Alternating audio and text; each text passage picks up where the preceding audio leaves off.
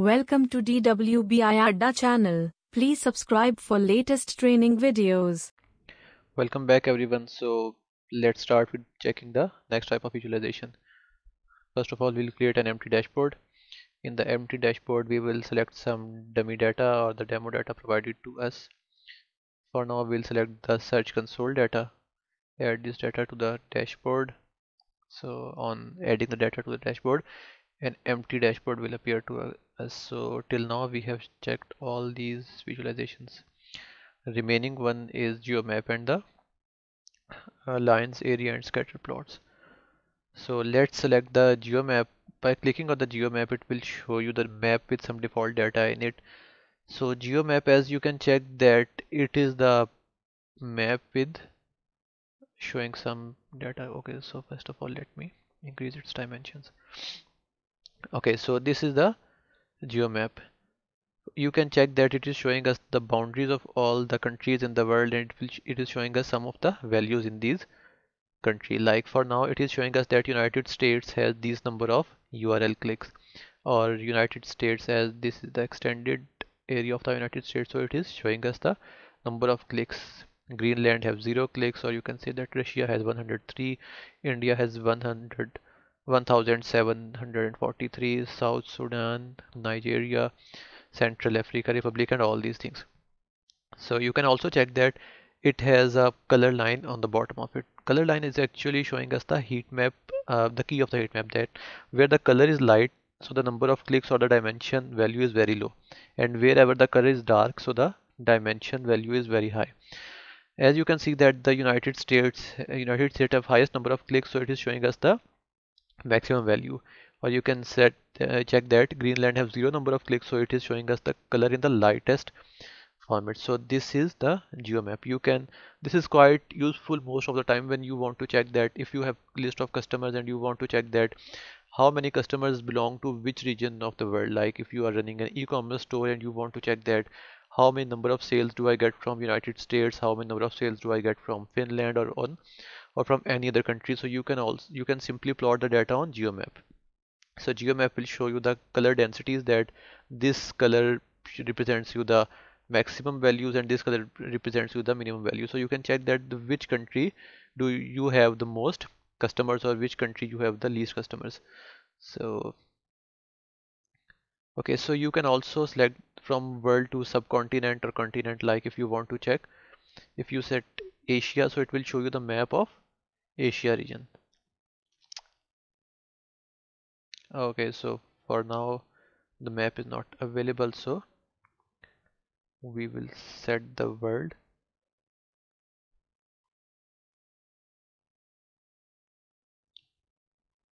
Okay so I think it is taking some time. Let's recreate the map. So here it is.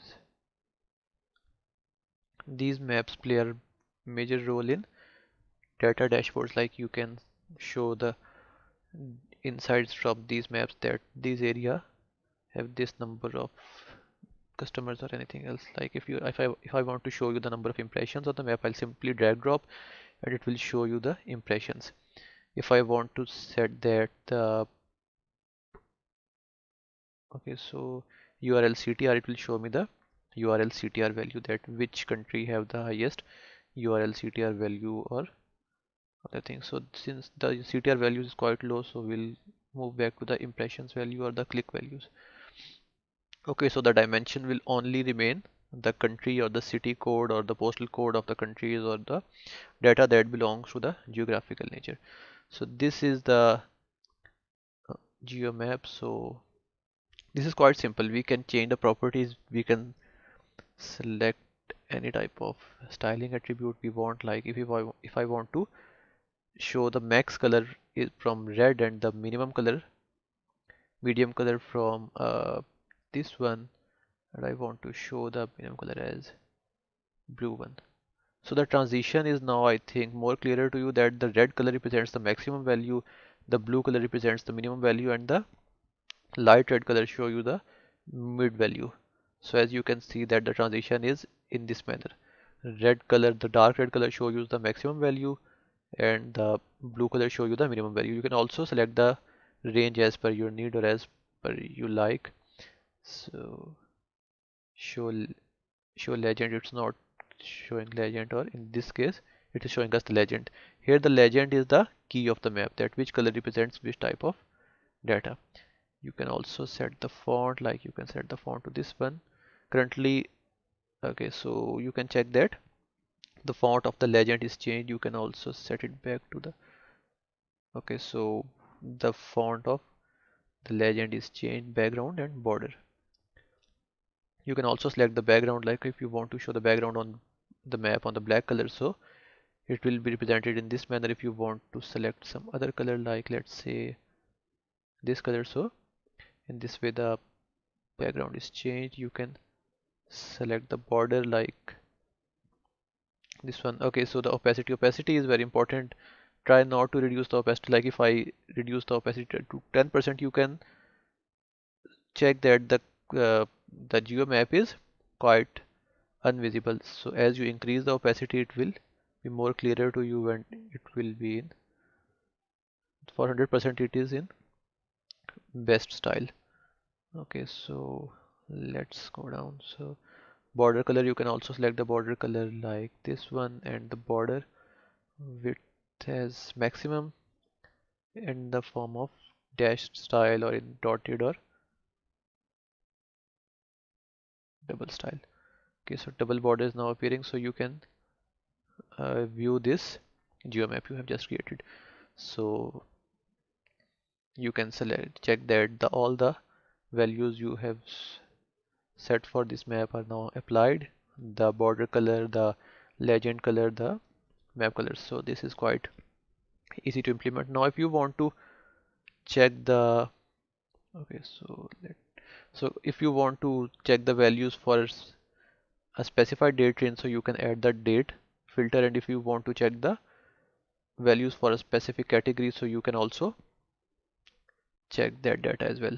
So if I want to check the data from last quarter. Okay or last quarter so if I'll simply click on apply. So the geomap will be updated. It is taking some time as the map is heavier to load so it will take some time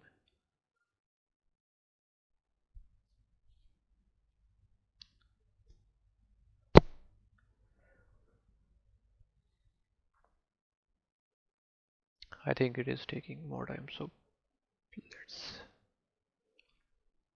okay so same is the case with device category with the filter control or the date range control that if you want to select the data if you want to check the data for specific date range or if you want to check the data for a specific category you can simply click on that category and all the data will be updated. Let me try if I want to check the data from okay so impressions from the desktop category have been displayed here. If I click on the mobile only so all the data will be updated as per the mobile category as you can see that the data have been updated. So this is geomap. Okay so I think the data for these areas are not available so it's not showing us the value for these areas. Okay so this is all from the geomap. You can simply visualize any data in the form of geographical format like if you want to show the uh, like um, apart from customers you can check that which area of the world have the most number of uh, let's say um, number of children if you have the data of population. So you can check the number of children the number of adults like which area have which number of people. Even if you have the data of own, your own country you can also plot the data and you can check.